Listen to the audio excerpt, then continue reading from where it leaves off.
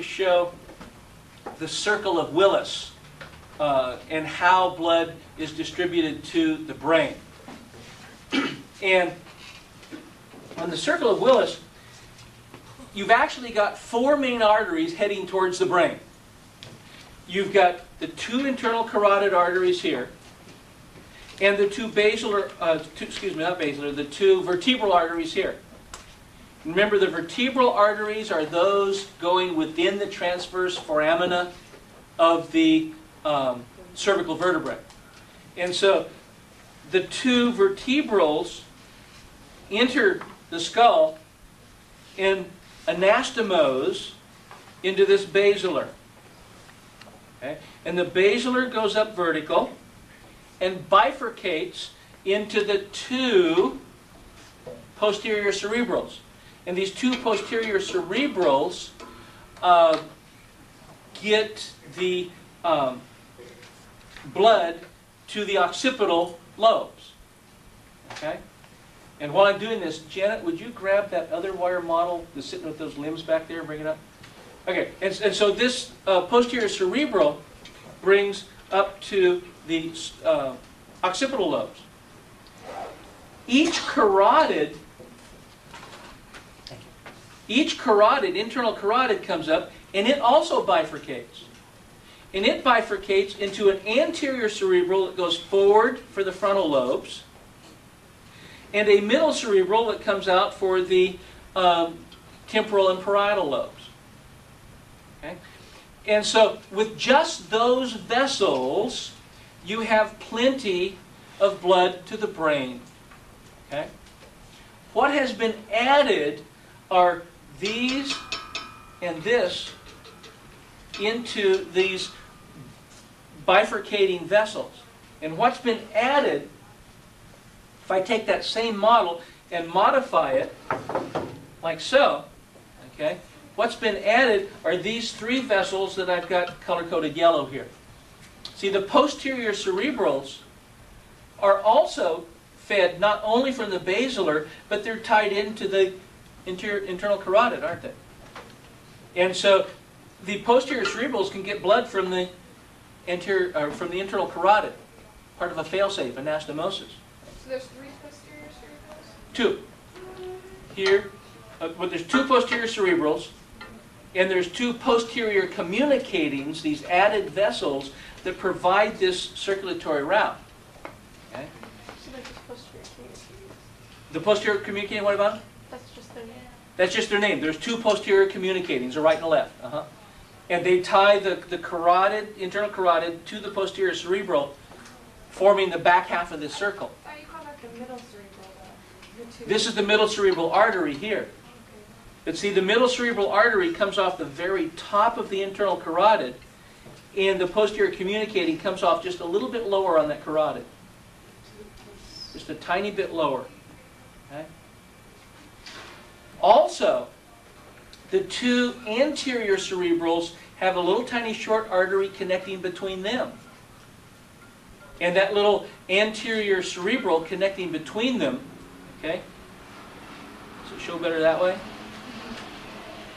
Okay? The anterior cerebrals have this anterior communicating artery between them, and that completes the circle. So now you can occlude, all, all you need for a functional brain is any one of these blood supplies to be working. And if any one of these blood supplies is working, you can get enough blood up into this circle that it can go any direction, whatever the pressure tells it to go, high to low, around, and get blood out to the entire brain. And so that's what these yellow things are here. These three communicating arteries tie together the basic circulation leading into the brain. So when you say the two carotid are blocked, then you go the vertebral to the basilar instead. Pardon? No, Okay. Okay, If I put this up like here, you can see that better now? So again, we can see the posterior communicating, the anterior communicating, that complete a circle, making a more fail-safe circulatory pattern to the brain. Okay, I'll ask.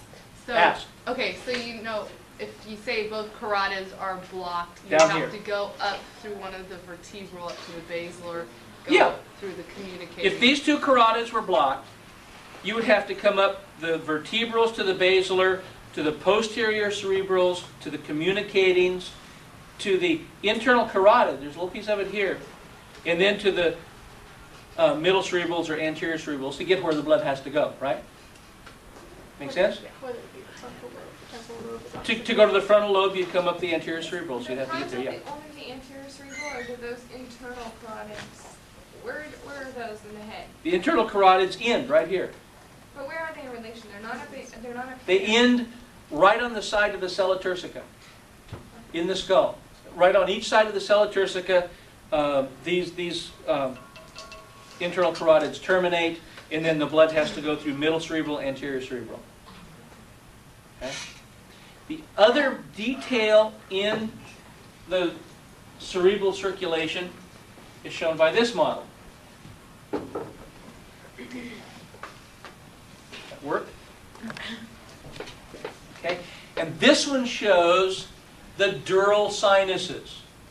Okay, and to get the blood out of the brain, okay, it's all going to be collected together and leave down here.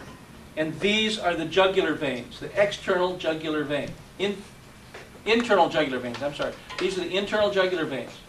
And so, superior sagittal sinus, inferior sagittal sinus. They join, um, well, then there's a straight sinus here in the great vein of Galen. So the blood from the inferior sagittal sinus and the great vein of Galen goes into the straight sinus, which joins with the superior sagittal sinus. And then that blood goes out through the transverse sinus to get to the side of the skull, goes through an S-shaped sigmoid sinus to get into the jugular vein. And you saw when you were studying the skull, that groove inside where the sigmoid sinus fit, going right over to that uh, jugular foramen, where the jugular left the skull. The added portion in here, you have right around the. Sella turcica sitting right inside here. Right around the sella turcica, you have the cavernous sinus, which is a network of blood sinuses that drains through two sinuses to the sigmoid. And the sinuses are named by their location. The temporal bone has that petrous portion inside the skull, and here's the superior petrous and inferior petrous sinus. And they're, they're draining uh, to the sigmoid sinus. And this is the way the blood gets all out of your brain. So are those the jugulars? These are the jugular veins here. they go down into your neck? They go down in your neck. These are the jugulars that you see out here. Those Okay. are internal jugular or external jugular? Uh, internal. External is a little tiny guy. And, the, and, and there's a lot of variation in people. In some people, uh, the external goes all the way down separate to the subclavian, and in some people, it joins into the internal and forms a common jugular.